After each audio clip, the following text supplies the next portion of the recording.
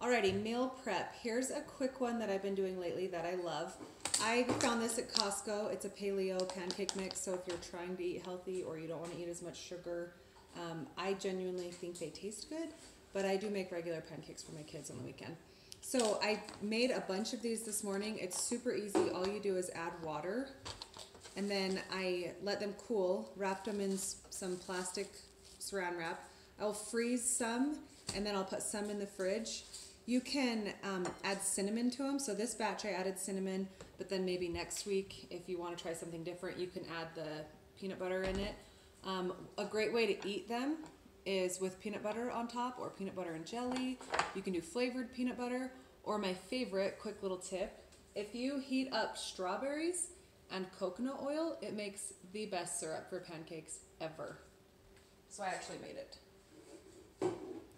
The coconut oil creates a syrup, and then you have the strawberries with peanut butter.